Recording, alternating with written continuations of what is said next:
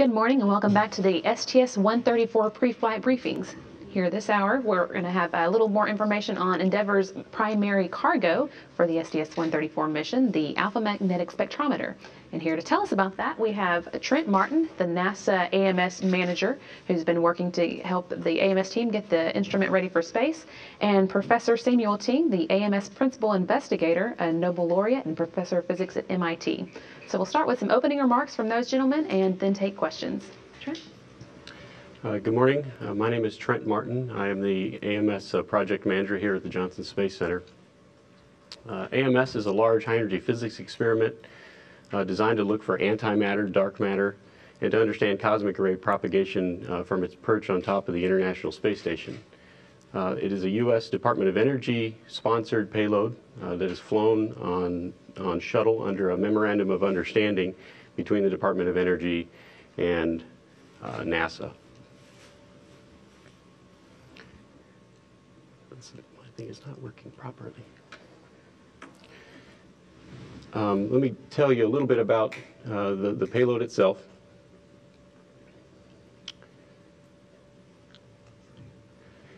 So the Department of Energy relies upon uh, the Massachusetts Institute of Technology and Professor Ting uh, to, to develop and, and cultivate the collaboration uh, that, we, that we utilize for AMS.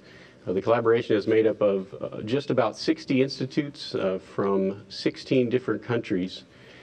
Each one of those collaboration members provide financial support, collaboration personnel, detector components, um, science and ground support equipment, uh, operational support, scientific analysis, and essentially AMS has as many countries as the International Space Station does, but we use different institutes and different agencies than, than the ISS does making uh, my job and Professor Ching, Ting's job uh, somewhat difficult. And we're having some technical difficulties, so. so the responsibilities of my office here at, at NASA Johnson Space Center are, are to provide payload integration activities. Uh, NASA is responsible for providing the space shuttle ride to the International Space Station and operations once we're on the International Space Station. Uh, we've been providing continuous support uh, to the AMS collaboration since 1994 when the collaboration began. Uh, we provide numerous pieces of uh, ground support equipment uh, and, and flight support equipment. Essentially, we take the experiment components uh, that are provided by the collaboration, we integrate them into NASA-built hardware that, that attaches them to the space station and also to the space shuttle.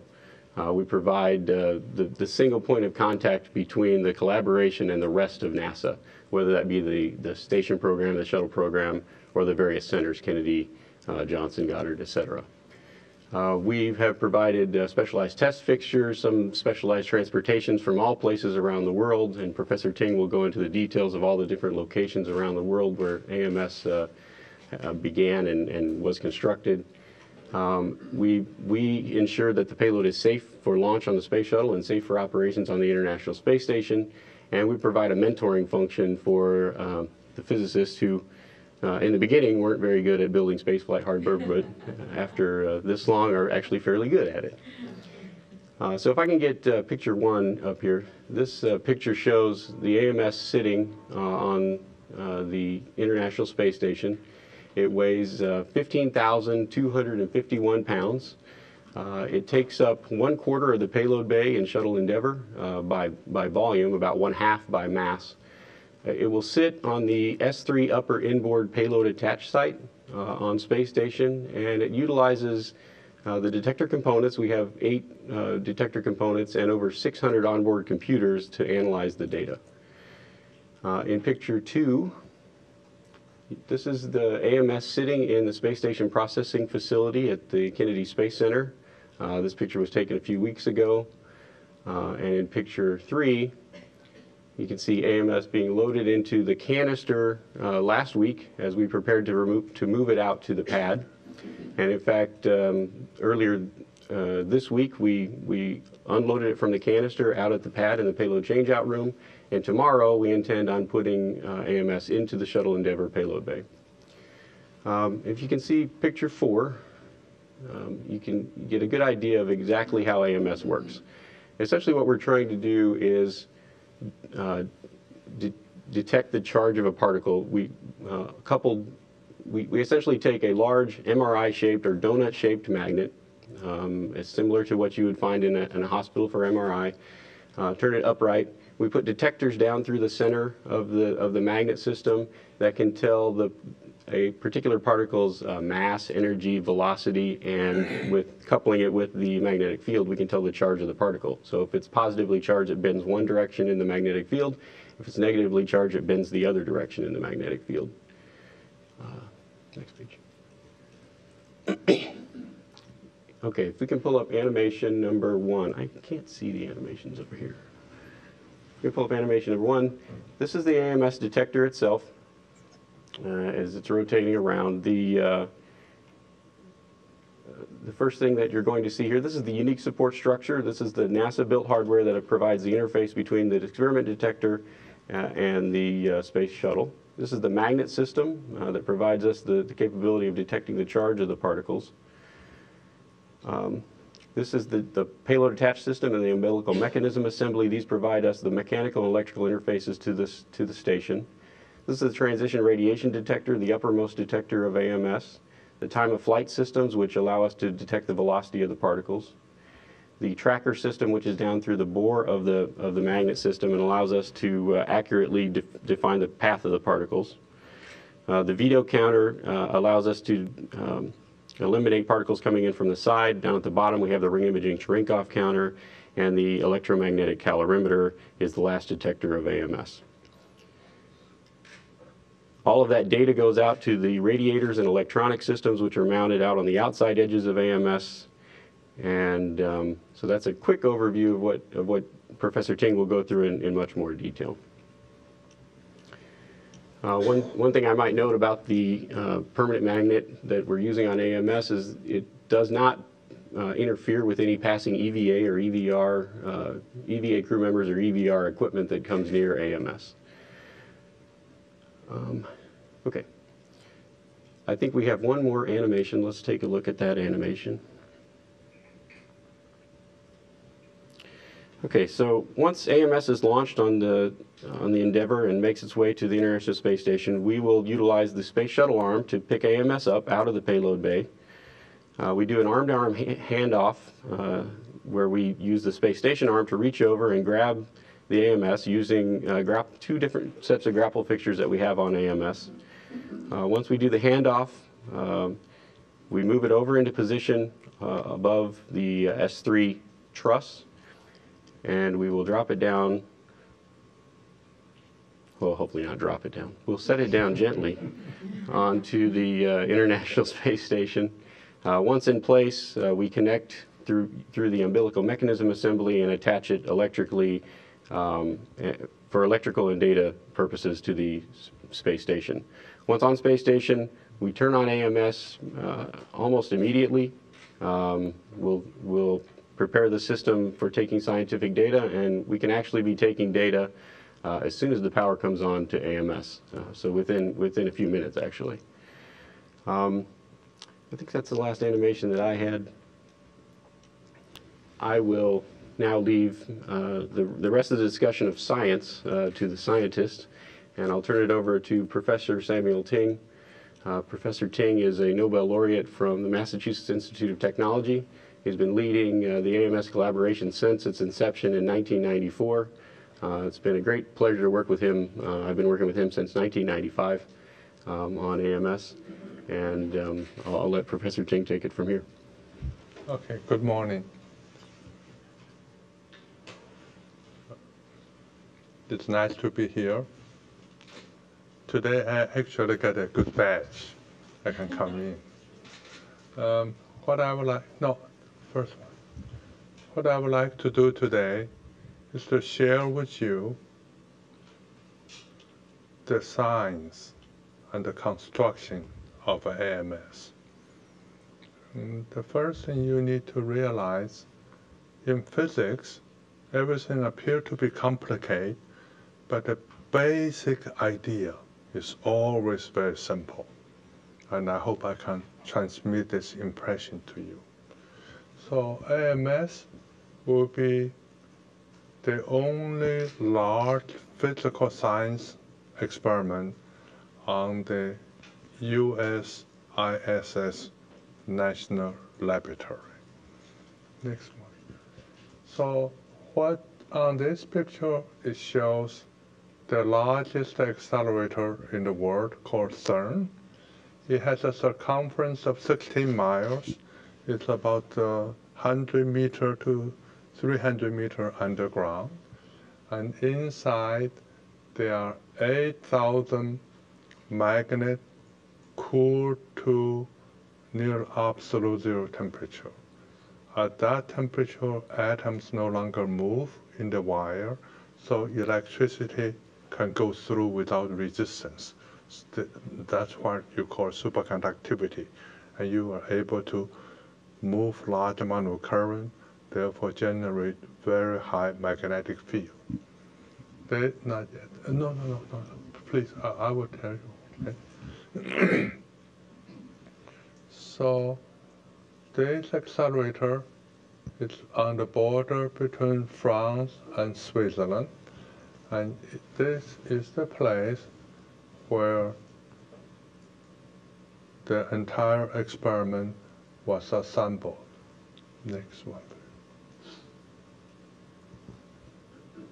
This accelerator at CERN produces particles of 7 trillion electron volt. But in space, high energy particles has been detected. It has an energy of 100 million trillion electron volt. So 100 million trillion electron volt is much larger than 7 trillion electron volt. This means no matter how large accelerator you build on Earth, you cannot compete with cosmos. And this, this experiment was done with a detector with area the size of 10 times the city of Paris, measuring a primary cosmic ray enter into the atmosphere, broke it apart, and so you measure the secondaries. You add up the secondary particles, you know what the primary particle energy is. So the most important idea is the highest energy particle is always produced in the cosmos. Now this experiment, as Trent have said, is a U.S. Department of Energy-led international collaboration.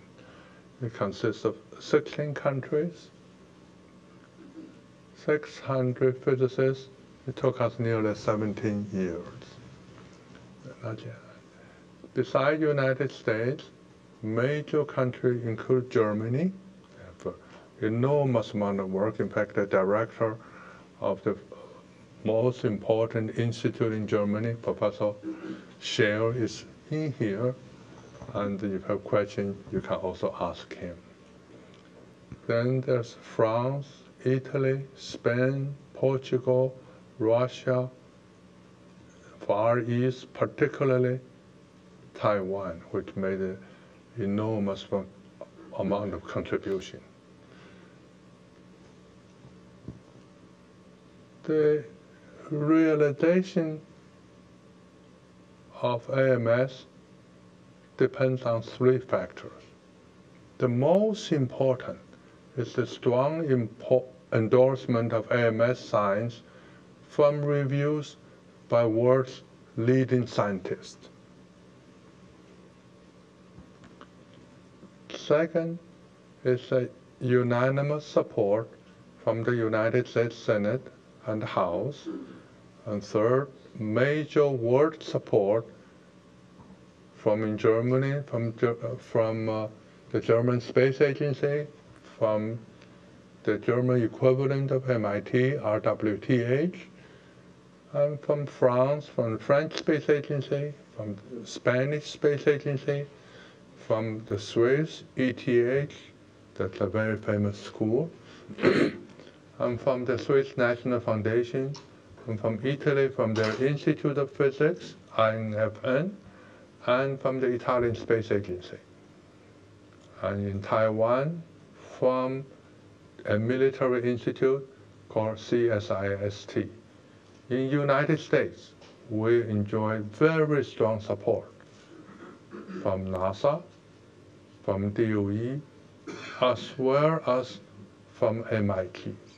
In addition, we are strongly supported by the European Space Agency and by the European Organization for Nuclear Research, CERN. Next. So this experiment was reviewed many, many times by the Department of Energy. And the, the most of the reviewers are Nobel Prize winners, a member of the National Academy of Science. When we were discussing this experiment with the Department of Energy in 1960, 19, 1995, I request to DOE to choose the best physicists to review this experiment because it's a unique thing people have not done before and therefore it is very important the most critical mind to have examination of it. NASA provide very strong support of AMS from headquarters, from Goddard, from Kennedy Space Center, Marshall Space Center, Johnson, Johnson Space Center, and also Ames. And uh, NASA administrators, Dan Goldin, Charlie Bolden, and also Lori Garver, George Abbey, and Bill Gerstenmaier all strong support this experiment. I think if my memory is correct, Mr. Gerstenmaier must have visited us eight or nine times. Uh, NASA provide two shuttle flights for us, even though this is not a, a NASA experiment, and also allow us to use the space station. Most important, NASA provide mission management group, the NASA APO of Mr. Trent Martin and Kim Bollweg, which educated us how to do experiment in space. This experiment in United States also received very strong support from the Department of Energy as well as from the School of Science of MIT. This experiment was proposed, started with MIT, and MIT lead and coordinate this experiment. It is MIT group design and construct most of the electronic system and also work on the design of the two magnet system. Next one. So when you look at particle detector, it always looks very complicated. So there are many layers. The first layer is called transition radiation detector. It measures electrons and positrons. And then they are followed by time of flight detector, measure the energy and nuclear charge. And then you have a nine layer of silicon detector, total area 6.2 square meters, measure the nuclear charge and the sign of the charge in a magnetic field. And then you have another detector called RICH. It measures the energy and charge. And then at the bottom, you have another detector called electromagnetic detector. It measures the energy of electron, positron, and gamma rays. This means most of the properties are measured repeatedly just to make sure they are consistent with each other. So when a particle goes through these different detectors, it leaves different traces, and you can quickly identify them. Next one. The magnet is a permanent magnet. It was provided by the United States Department of Energy and was manufactured in China, uh, let's say in 1996 or so. And the reason is the best permanent magnet material come from Inner Mongolia, which uh, is part of China. I would say they really did a very good job under NASA supervision. Next one. Since cosmic rays going in all random direction, so you need a counter, a ring of counter surround your acceptance detector. And so particles going from the random are rejected. So you want to do this very efficiently. You want the efficiency of 0.99999. And that is very, very difficult to do. And this was done in Aachen, Germany. It Took them many years to build this thing. Next one. So this is a picture. Oh, you don't see picture, only see me. The picture is more the picture there is more exciting. Picture shows uh, how this detector is manufactured. Next one. Another detector is measure the flight time, make sure the particle, you only measure the up and down particle. Next one. A major detector that is made in Germany with the participation of the United States and Italy, is called transition radiation detector. It uses the fact when you have an electron go through layers of radi uh, radiation material and then go through the boundary, it emits light rays. A measurement of this gamma ray shows an electron has gone through no other particle give this phenomenon. And so the difficulty then is to how to detect gamma rays. To do that, we developed, mostly in Germany, 9,000 detectors. But in space, you cannot do refill. So you have to make sure these detectors are centered correctly and they do not leak. And so out of this 9,000 we built, we put some of them at, in a hospital, in a CAT scan machine, to make sure the detection center is, uh, the, the wire is centered correctly. And from the 9,000 built, we chose 5,248 of them.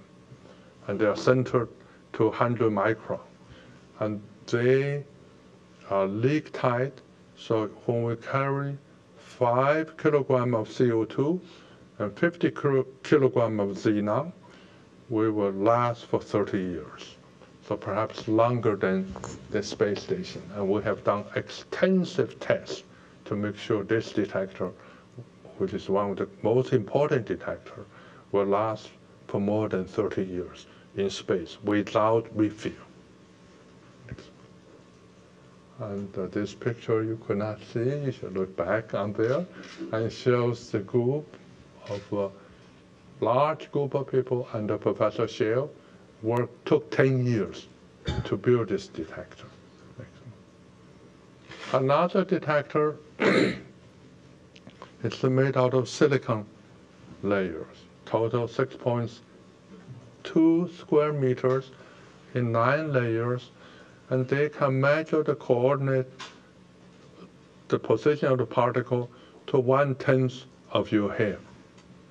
And so these were done in special laboratories in Switzerland under microscope. As well as special laboratories in Italy. It has taken 50 engineers three years to build this detector. And this is how the detector is installed. You cannot see it again. Uh, installed into the magnet. There are total nine layers. Another detector is made in Spain, in France, and in Italy. In other words, if you speak Latin type of language, you work on this detector. And the previous detector, better you speak German. and uh, no, no, not yet, not yet, not yet. And this detector uh, uses the fact when a charged particle goes through the top of the detector, it emits light. And the angle of the light is a measurement of uh, velocity. Velocity means energy. And the intensity of the light is the measurement of nuclear charge. You know, throughout the periodic table, there's a hydrogen has one proton, helium has two protons. So the charge is always integrals. You, you will not have a fractional charge. So you just identify the charge. Next one. So this detector is very nicely made. It has uh, 11,000 photosensors. Next one. Another detector is called electromagnetic calorimeter. It uses the fact electrons and light rays because it has a very small mass. So when you enter into a piece of lead, you quickly lose its energy. And if you pick up the energy by optical fibers, then you know an electron has appeared. And you can measure the energy of the electron. To do this, uh, this was a technique for this special one, developed in Pisa. And they are, next one. So this is how, this, yeah, this, this is great. This is not making spaghetti, but it's very similar. Hmm? And shows people making very thin piece of lead, a millimeter, and with one millimeter optical fibers. In total, in total, there are 1,200 pounds of lead foils, and with 10,000 optical fiber, one millimeter thick. Next one. So this is the electromagnetic calorimeter, and it's the most sensitive one. It has something called radiation has 17 radiation lengths. It's the most sensitive one ever built for space. Next one. So we enjoy very strong support from the European Space Agency. Last year, this time, we were not here we were in Holland. We put the detector into the thermal vacuum chamber and to, to simulate the space condition to make sure the detector will work in vacuum and work in space temperature range. We were there for four months. Next one. And then we put the detector into an accelerator. This is the accelerator complex at CERN. The largest one has 27 kilometer. The second largest one is a 7 kilometer. And we were put into the 7 kilometer accelerator to, sim, to produce particles, to, to see the response of particles in space. And so this is what this detector look like in space from the 8th to the 20th of August. Uh, I should mention, uh, even though we have a very large group, uh, we do have very strong engineering support, and so the time sequence is very well kept. And we have a very good support team from Johnson Space Center and who always make sure that every day what is done is carried out. Next one. After the detector was finished, uh, we could not fit the detector into a Boeing 747 we just, unless we take it apart. And that is not a good idea. and so we um, were able, through the support of NASA and through the support of Department of Energy, obtain a Air Force C-5 to transport us. Next one.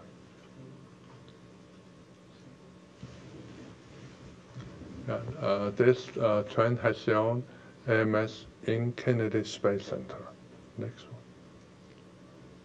So there are many discussions in the past about what whether it's possible to build to do fundamental science on the space station. You often heard people say, well, the space station is a good adventure to learn, uh, to live in space. And what could it do for science?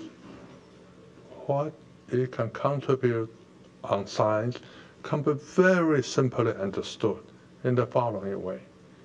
In space, there are two types of cosmic rays. One doesn't carry charge, like light rays, like neutrinos. And this has been studied over 50 years. In fact, all our understanding about cosmos come from observation of light rays and neutrinos. But besides light rays and neutrinos, there are particles carry charge. Once they carry charge, it must have a mass. Once you have a mass, it's absorbed in Earth's atmosphere. So you never, never measure the original cosmic ray underground because you live under 60 miles of, uh, of atmosphere, which is uh, equal to 30 feet of water. So you have to go to space. Now, because it carries a charge, you need a magnet because positive bends one way, negative bends another way. But put a magnet in space has a one small difficulty, and that is uh, if you have a magnetic compass, one end will always go north, the other end will always go south. So if you're not careful, you put a large magnet in space, soon your shuttle will lose control. And it took a long time to figure out to design a magnet. It doesn't rotate in space. All the field are inside. Looking from outside, it's like a beer can. Okay, so it doesn't move.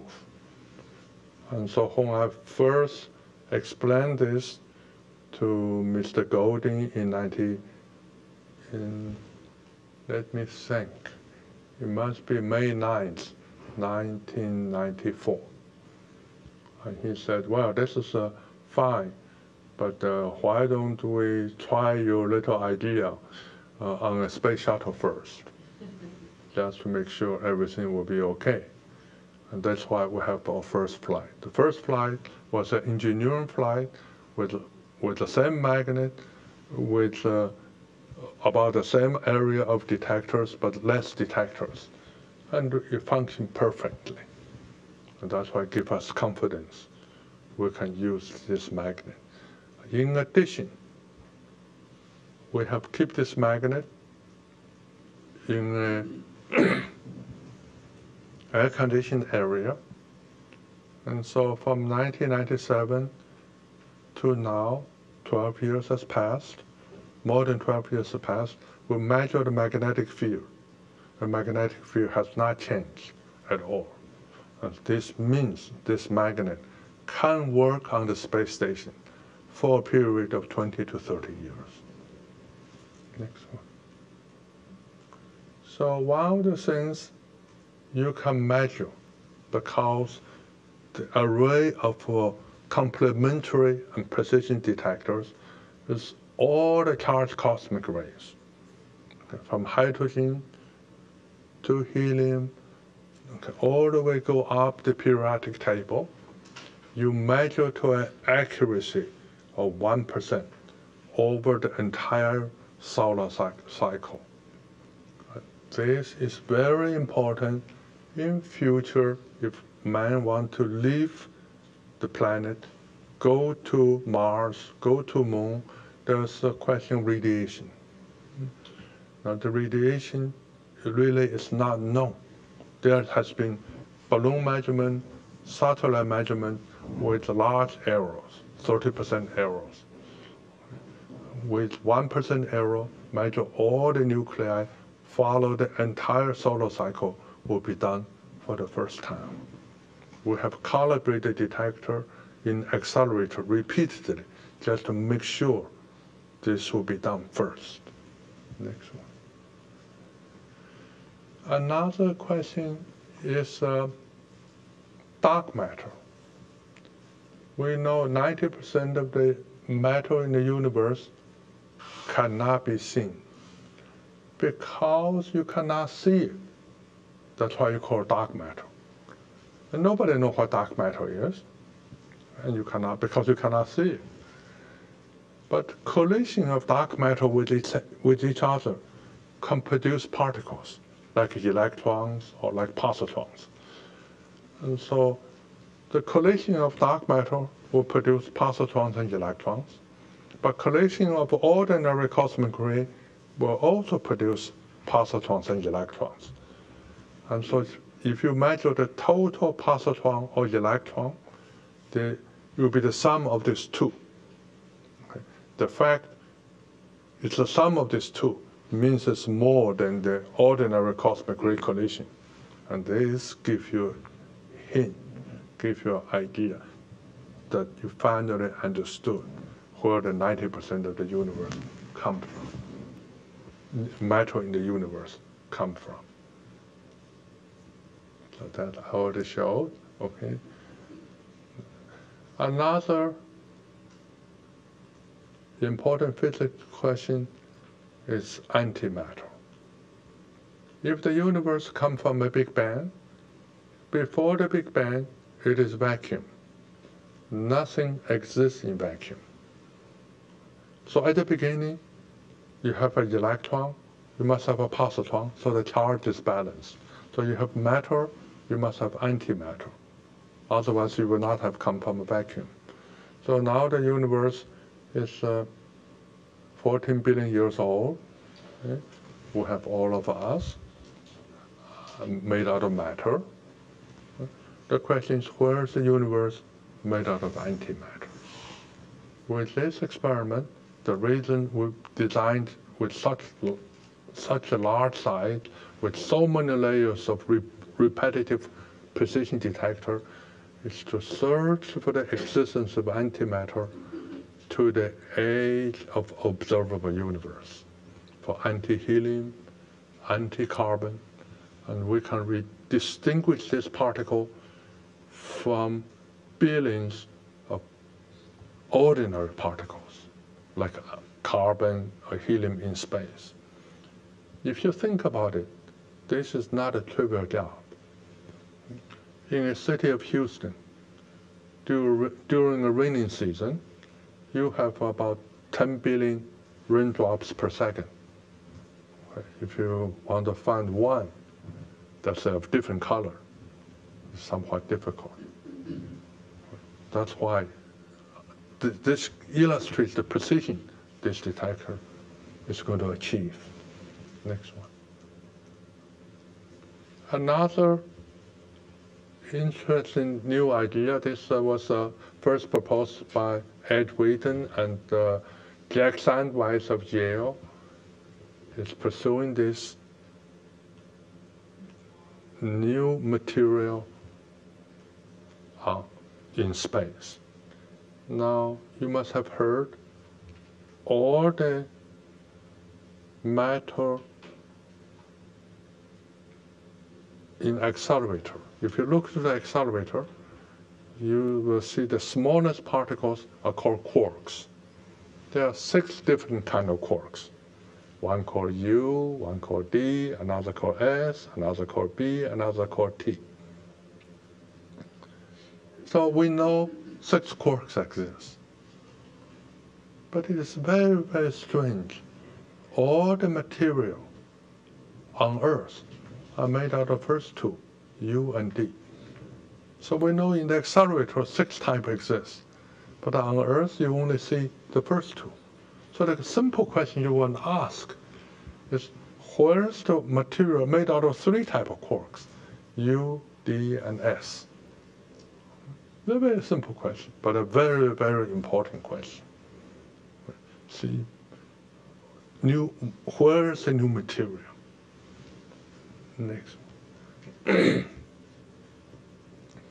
so the issue I just uh, share with you of antimatter in the universe and the origin of dark matter really probes the foundations of modern physics.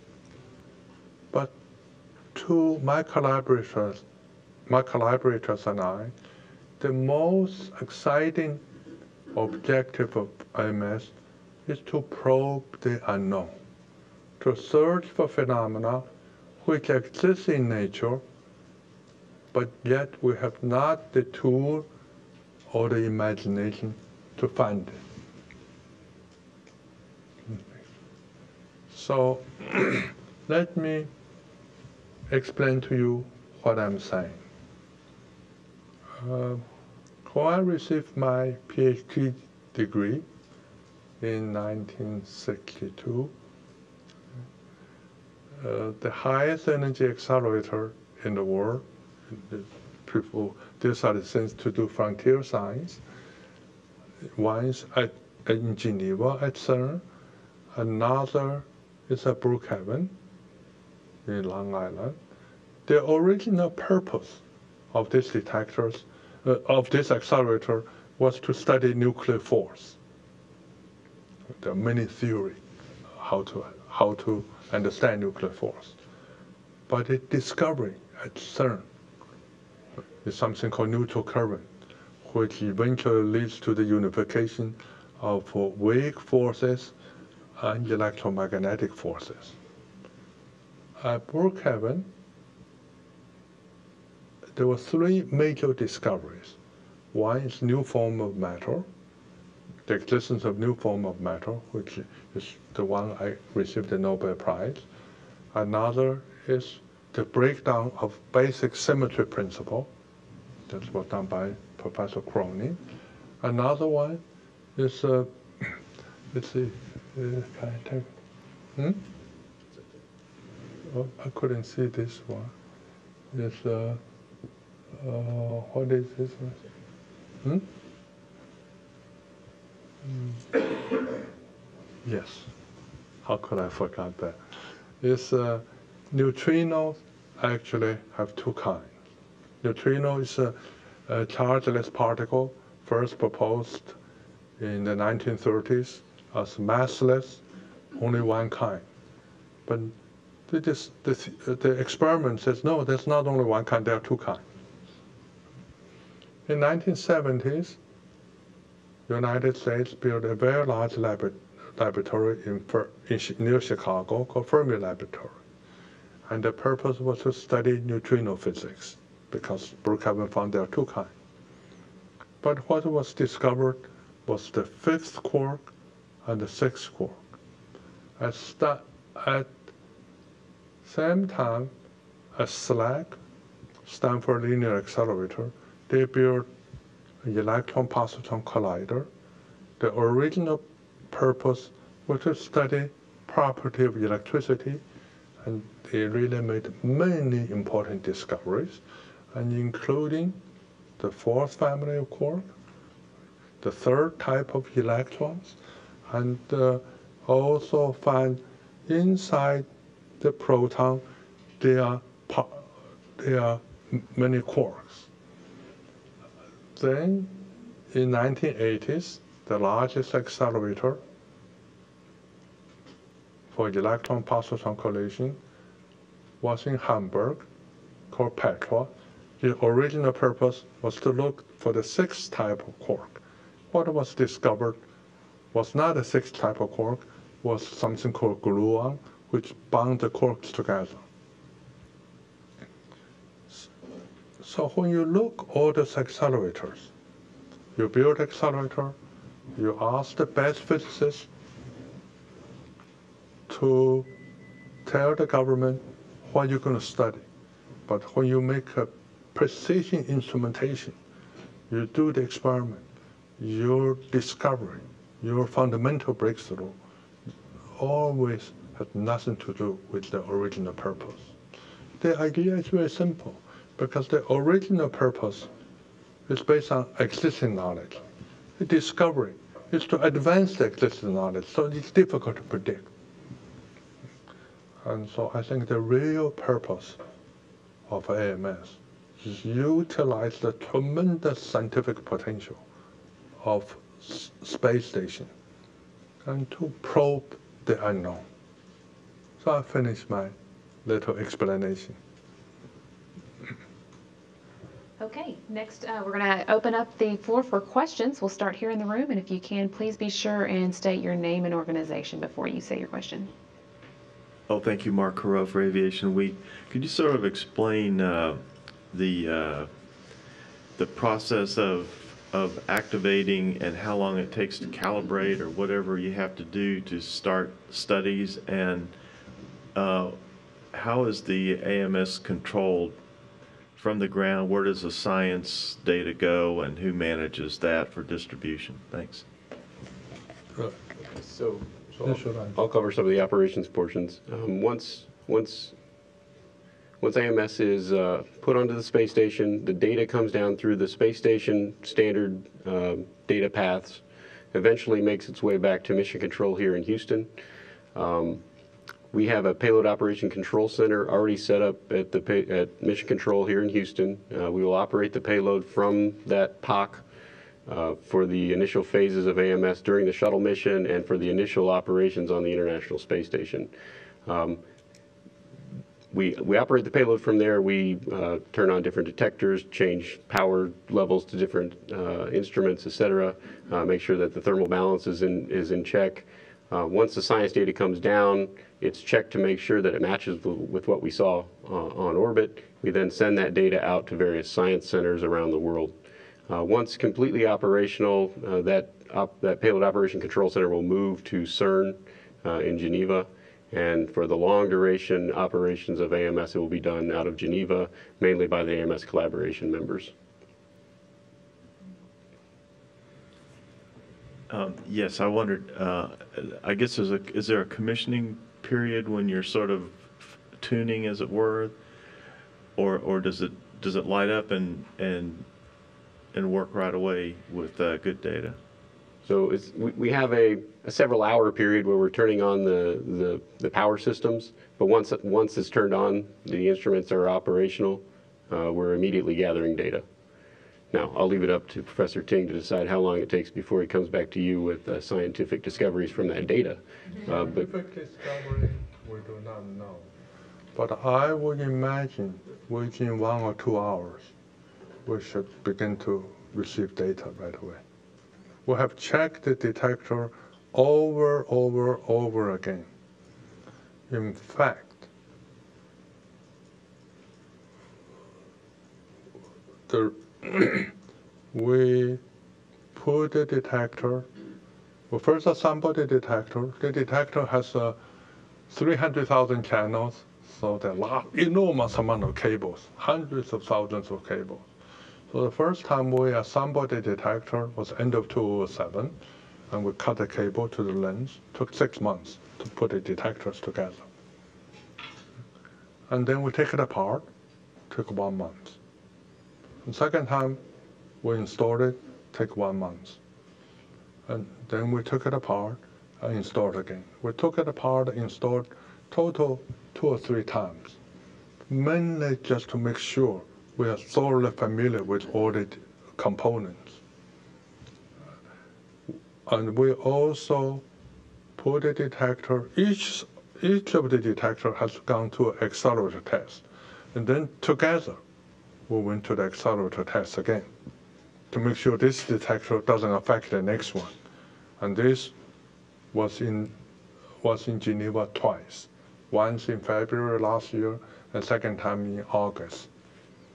And in Kennedy Space Center, we did also tests.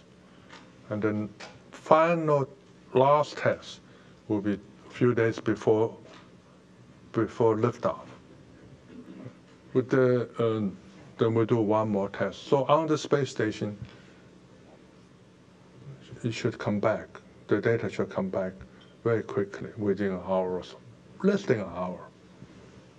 This has happened exactly the same thing what we did in AMS, the first flight. In addition to the uh, operations that we do on the International Space Station, when we launch, within an- about two hours after launch, we will turn on AMS in the payload bay of the orbiter. Uh, We'll ensure that it uh, survived the ride and, um, and check out the, the, basically thermally condition the payload to ensure that when we're ready to do the arm-to-arm transfer, that we're warm enough uh, that we can do that for, there's a stage where we would have zero power onto the payload. Uh, Bill Harwood, CBS, with a couple of questions. The data that comes down, you don't store it on board, right? It's a continuous downlink. Is there a measure of, of how much data comes down in a given 24-hour period? The data come down continuously. Occasionally, there's an interruption of the downlink. So we have uh, a computer on board and also, a computer in the detector itself, which has a massive storage. And so in principle, we can store for quite a few months before we can send them down. And for you, you, you never know if the space station stays for 20 years, and you don't know for the next, uh, there will be a few months' time, something may happen. So we, this has been taken care of. In fact, the computer storage was delivered by 133. And when the data comes down, goes to Geneva, and we have a, a rather good park and a SOC and will- the data will be analyzed there and will sent to Aachen, Germany, to Italy, to Switzerland, to all the places to, to analyze the data. To give, to give you an idea of the amount of data, um, currently with AMS running, well, last week when AMS was running in the SSPF at KSC, we were seeing 400 hits per second of particles. When we get to the International Space Station, we expect to see 25,000 hits per second. Uh, we're gathering data at 7 gigabits per second. Uh, we can't send that huge amount of data down through the uh, space station data systems, it's just too much. Uh, so the onboard computers actually go through a process of uh, condensing that data down to just the data that we're truly interested in, compressing it as much as possible. We send down data uh, on average at about 6 megabits per second, constantly for the entire time that AMS is on. The computers that Professor Ting spoke of can store up data and we can burst it down at a much higher rate. Um, that allows us to do it at, at less peak times of, of data traffic coming back and forth from station. Uh, Dr. Ting, you, you spent an enormous amount of time on this project, uh, from birth to getting to this point where you're ready to launch. Um, I know scientists uh, don't get terribly emotional about the hardware, I guess, but this is quite a moment for you personally as well as the team. But what are your thoughts on a, on a personal level that you've finally gotten to this point where this payload is finally going to fly? Uh, if, if you ask me, okay, what I do every day, Mhm. uh, my biggest worry, my biggest concern is to make sure the instrument is correct. Because this is different from you do experiment on the ground. If something's wrong, you can send a graduate student to, to fix it. Hmm? And uh, and so I indeed spent enormous amount of time thinking what could go wrong.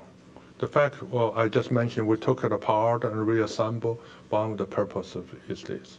For the electronics, we have a four-fold redundancy. and just make sure one's bad, you will switch automatically to next one, to next one, to the next one.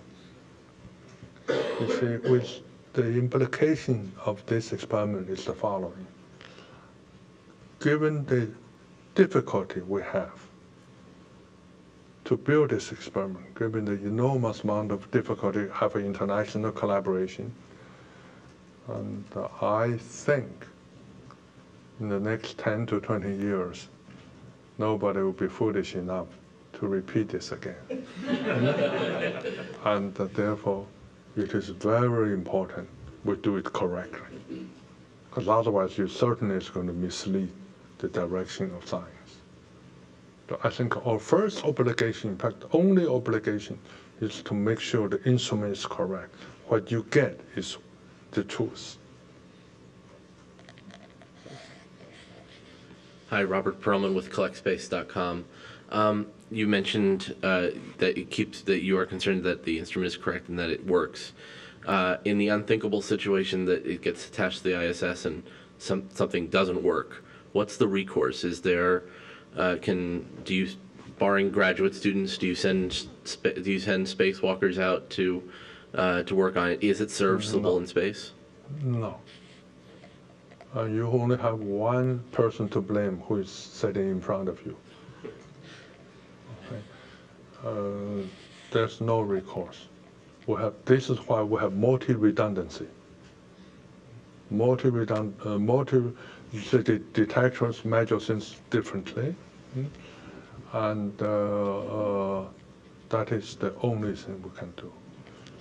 A permanent magnet has the good fortune you cannot switch it off. Okay, So the magnet will work and the transition radiation detector was tested repeatedly. Every detector was done individual space qualification test and the whole detector together, the space qualification test. So I suspect unless somebody drop it, then there's uh, nothing we can do. Probably the chance of not working probably is quite small. And follow up with that, when you have a detector that has 300,000 data channels, that means you have 300,000 wires somewhere, right?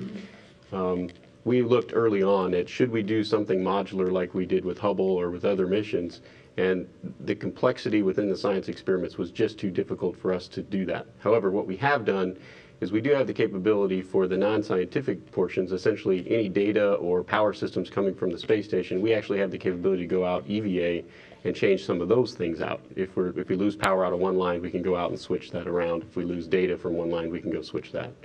Uh, but barring those minor uh, adjustments that we can make, uh, the, the experiment detector is just too complex to make it modular. And uh, just as a quick follow-up, um, is there an advantage to where it's being placed on the station? Was there was there a more advantageous place to to attach it to the station, or was it just an open spot where it could go? Know, we went through uh, extensive studies on exactly where we should put AMS. AMS is sitting at a site uh, at one of the of the six or seven attached sites. There's one on the mobile transporter as well, but one of the six fixed uh, payload attached sites, the furthest away from the solar arrays, and we actually tilted it 12 degrees. Um, 12 wasn't a magic number, but we tilted it uh, a certain amount of degrees away so that we could actually get the field of view away from the solar arrays so that we would see those in our field of view as, as few times as possible. Um, so we are now sitting in a spot where we cannot move it uh, easily uh, without, without adjusting the rest of the, the hardware that's on space station. We obviously have to be pointed away from the Earth, uh, so we can only take one of the three spots on top. And um, this, this was by far the best site for AMS on space station. Uh, Gina Sunseri, ABC News. Is it possible to have a significant scientific discovery before Endeavour lands? I mean, how long would it take to process this and figure out what's what? Uh, it is, uh, even if you have something new, hmm, uh, you can never predict the future. I think we want to check it very carefully. Yeah. We want to make sure everything is correct. I think the chance for making an announcement just for the announcement's sake probably is not what we should do. We want to do it very systematically, very carefully to do that. We are going to have two analysis teams, okay, two independent analysis teams, analyze the same thing and make sure they get the same result.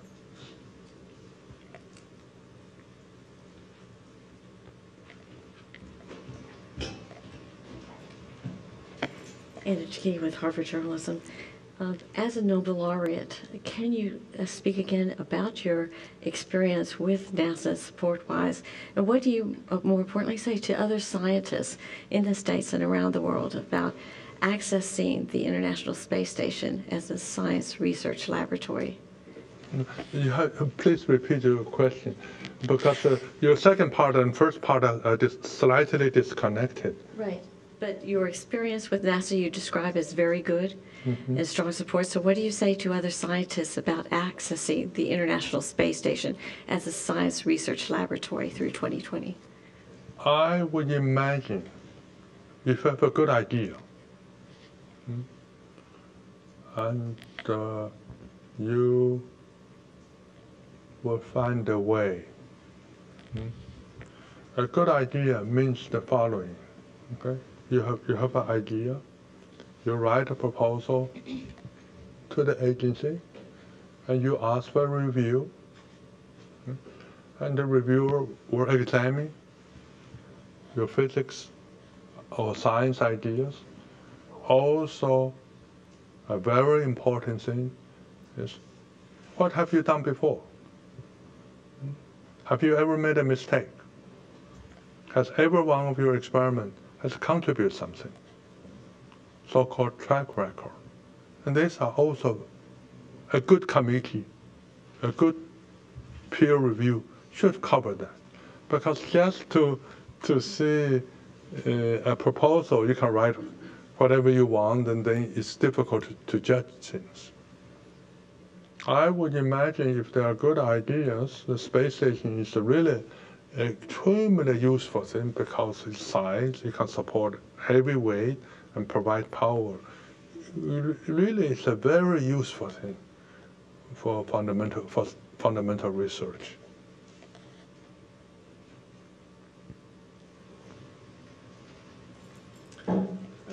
Eric Berger with the Houston Chronicle. Following that up, and then I'll have an additional question. Is that the primary reason why the AMS had to be on the station? Was its power needs? power and weight. If you go on a satellite, right, you're going to have to build. Uh, you're going to have to build. You have to find a rocket, carries uh, seven and a half tons of load, and you have to build a, a solar power to provide 2,500 watt, and you have to provide data transmission, and this will be enormously costly. In fact, this question was asked of me a year ago when a physicist called Steve Hawking showed up, visited me, uh, spent a half afternoon with me. After my little explanation, he only had one question. I was the same question. Well, well, that's very flattering. Thank you. Um, the,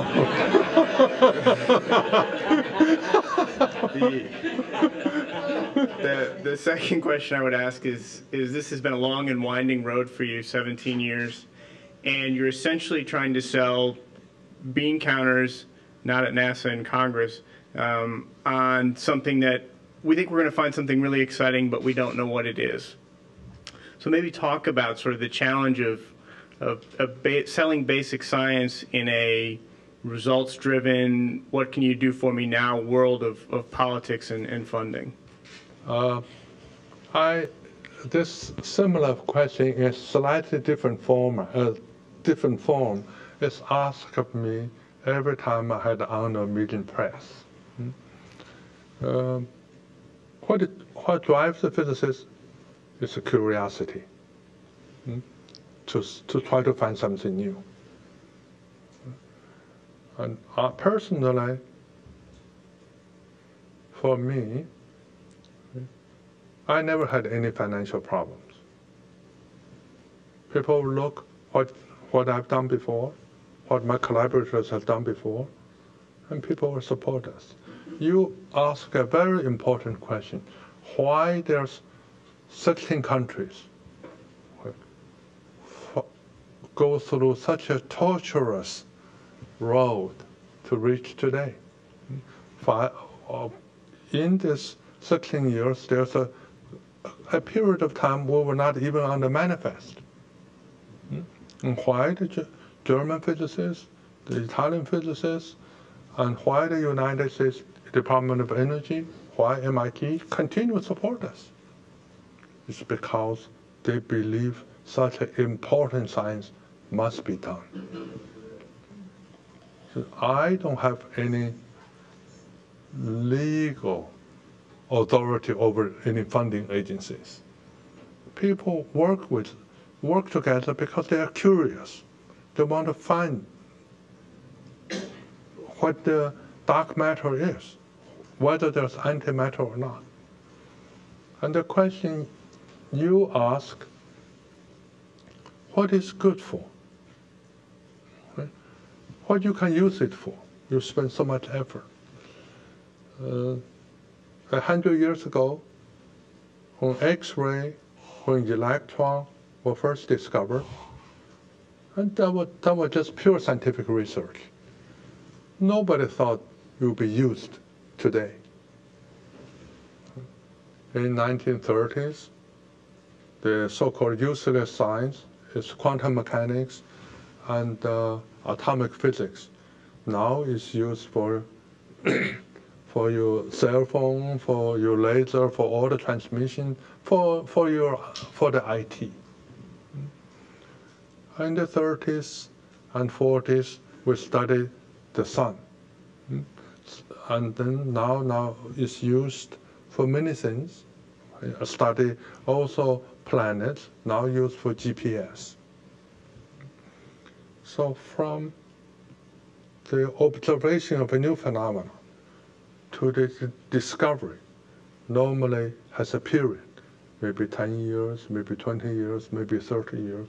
Once it is used, it changes everybody's life. But during this road of developing new technology, de- developing new science, you develop many new technology. A very good example is World Wide Web. was discovered at CERN, which really affects everyone's life.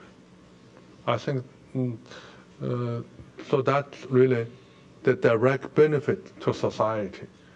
But for scientists, at least for me, the main reason is curiosity. I'm sure my good friend Professor Schael, which, uh, who is here, share this, the same the same passion because we want to find out what is going on.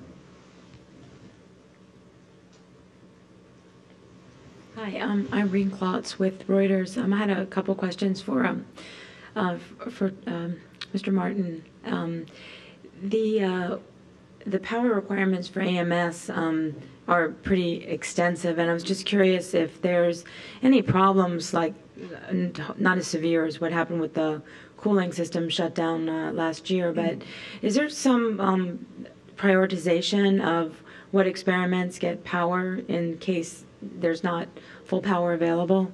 Yes, absolutely. On the space station, uh, if there's an emergency, uh, there, there's a set of priorities, who gets shut off first, who gets shut off last uh, in those, in those systems. And we work within that system to identify uh, AMSs in this configuration right now, our temperatures are set at this, at this level. We can be shut off for this amount of time before we start to harm scientific experiment components.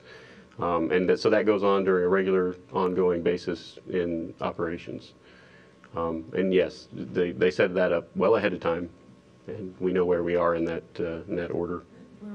Where are you? Just Where payloads are considered one of the lower order items, they they're the, some of the first things that get shut off.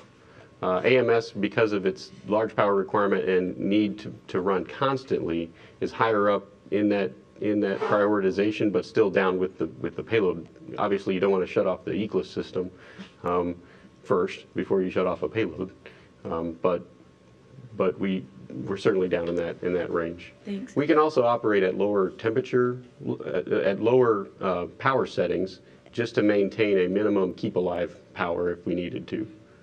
So we could operate just the thermal systems, just turn on things to make sure that uh, nothing freezes. Thank you. And um, for Dr. Ting, um, the uh, the substitution of the the magnet, the permanent magnet, I know that that all worked out really well considering stations being extended. But could you just uh, uh, clarify if the helium tank problems had any um, any impact on the decision to switch? And also, are there any plans for a um, for using the AMS um, cryo magnet in like an AMS three? Thanks. Uh, answer the second part. AMS-02 presumably will last 20 years. The space station that people talk about ending in 2028, at least 2020. So indeed, there are many people talking about AMS-03, but uh, perhaps for me, this is not my highest priority at this moment. Okay. Uh, when we were approved, space station has not been has not started, and we were given three years, and uh, there was a very clear understanding between DOE and NASA. We were to be on the space station for three years. Afterwards, we'll be returned to Earth. Another experiment will come on. I think an experiment was identified called Access, if my memory is correct. Hmm? So we designed the magnet for three years. It is very difficult to build such a magnet. Nobody has ever succeeded because you need to cool such a low temperature. So we had many technical challenges, but we managed to finish them. And we test them in the thermal vacuum tank in ESTEC. Because you cannot test them in the laboratory. In the laboratory, the outside temperature, and you have air, and so conduct the heat. So, you, so you never get a, you never get a reliable answer until you go to the thermal vacuum tank. You you pump down uh, the vacuum tank and you cool down the, uh, the, uh, the, uh, the environment temperature to simulate the space. We were there for quite, quite some time until the temperature in the tank is stable to point 0.0001 degree per hour. Namely, extremely stable. And then you can see okay, how much heat is going to uh, come into to lose it. And that turned out to be, I think, close to three years. 28 plus minus six months. So that should be okay because in space, whether it's two years, you, if you approve for two years, for three years, you work for two and a half years, you, you get the same data. when we finish this, I remember very clearly uh, it was April 16th last year. And there was an announcement the space station will go to 2020, maybe go to 2028. And then my colleague and myself realized there's no more shuttle, so there's no refill. There's no more shuttle to bring back. If we don't do something, this will become a museum piece. And that's why we made a decision to change the magnet. We have studied this change before, during the period when we were off the manifest. We were thinking of going up with a satellite, uh, going up with a rocket. so we know the procedures. Unfortunately, very fortunate for us, in Aachen, in the first Institute of Physics in Aachen, Germany, where Professor Schael is the director, they have a very precise machine shop. And we were able to do that very, very quickly. How long was it? Mm, few weeks. Hmm? Six weeks, we changed the magnet. Because we have understood the step. It's, it's not we have started random, we've understood the steps. And then we, to compensate the magnet is weak, we add more detectors. And that also was done very quickly in Germany and in Italy. I think we were within one day of our schedule. Um, Marcia Dunn, Associated Press. Um, for either of you, I'm wondering if $2 billion is still the most up-to-date, accurate figure for the cost of the AMS, and are there also annual operating costs that you're able to share with all the different countries involved? Okay, so calculating the cost of AMS is difficult, um, simply because we have all the different institutes. Many of the many of the institutes provide in-kind work, or they only provide, uh, you know, three grad students and a professor, and they don't tell us how much those cost.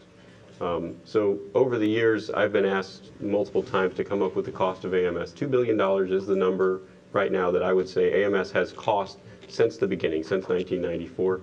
Um, there are annual operating costs. Um, most most of those are, are, are borne by the by the collaboration themselves. Once they move the the payload operation control center to CERN to Geneva, uh, as they man that uh, with uh, 12 to 15 people per shift, uh, 24 hours a day.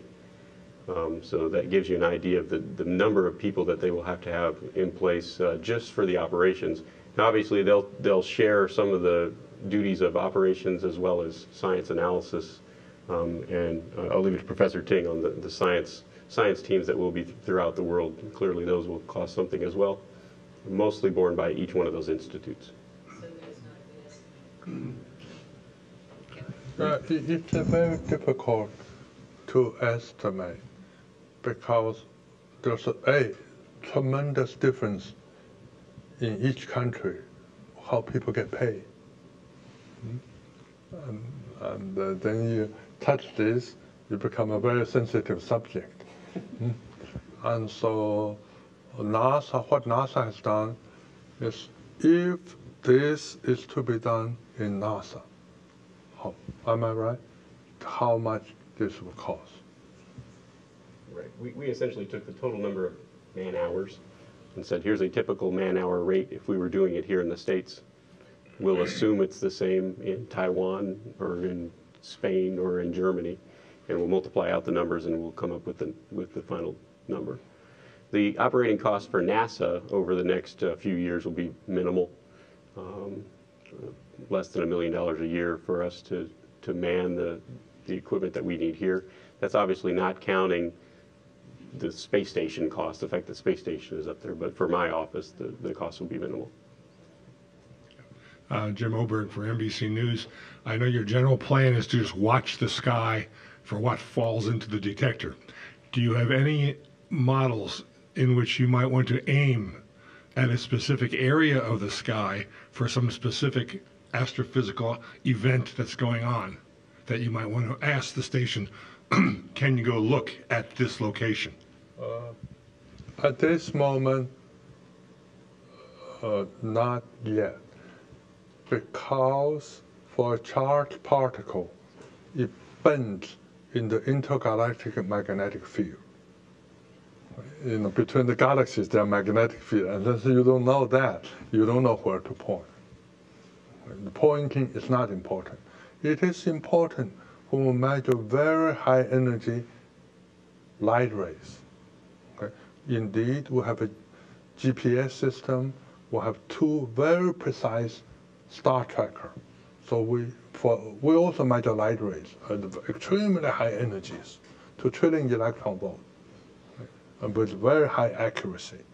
Because I mentioned at the end we have a stack of 17 radiations of uh, detector, specially measure measure light rays, and for that, okay, indeed, if it's something new at very high energy, we may come to present this to NASA to ask for a special orientation. But at this moment, no. I'm sorry, we don't have time for follow-up, so. Hi, Clara Moskowitz with Space.com. And I know that you've talked about the long saga of getting final approval for this experiment. And for a while, the question of whether or not the STS 134 flight would even go up was up in the air. Can you talk about what you felt when you learned that this flight was actually going to launch your experiment? But it's better he answer. I was thinking it was better he answer. um, we, we knew, we, we were asked, at NASA, at JSC, we were asked to continue processing the payload as if it were going into the shuttle. Uh, we were also told that we didn't have a shuttle um, in the same breath. It was, uh, it was difficult, and it was difficult to keep the team together. And so just the, the mere fact of adding STS-134 was a relief to my team, uh, who had been continuously working on this, not knowing whether or not they had a mission. Hi, Mike Cronin from The Daily. Uh, we know that we don't know what dark matter is. We know a little bit about antimatter, but have a little fun with this question. What do you think we might find uh, using this AMS about dark matter, and what might uh, that knowledge lead us uh, to do, uh, whether it's interstellar travel or uh, the existence of opposite charged uh, beings that mirror ourselves or something like that? You don't want me to answer this question uh, because I'm not qualified. Any phys- most physicists who predict the future normally end up regretting because it's very difficult to predict the future. My responsibility and the responsibility of my senior collaborators is to make sure the instrument is correct because the detector is so sensitive, everything we measure is something new. We want to make sure it's done correctly. Speculation is dangerous. Okay, I think we have one question at Kennedy Space Center. Yeah, just one. Todd Halvorson of Florida Today. I'm just wondering if Professor Ting can uh, uh, speak to the difference in capabilities of the cryomagnet and the permanent magnet, please. Yes, very good question. Permanent magnet does not require power supply, and because its weight is so massive, it doesn't. The temperature is easy to keep constant require no maintenance. And uh, our permanent magnet we have shown in 12 years the magnetic field has not changed. And therefore, in 20 to 30 years, we will keep it the same magnetic field. The disadvantage is the field is much weaker, five times weaker than the superconducting magnet. To compensate that, we put in more detectors and more longer arms so increase the measurement accuracy. And so the detector resolution with the permanent magnet is not compromised. Have I answered your question? I think so. I think that is the end of our briefing today. Next up, coming up on NASA TV at 11 a.m. Central Time, we'll have the STS-134 mission overview briefing. Thanks so much, and we'll see you later.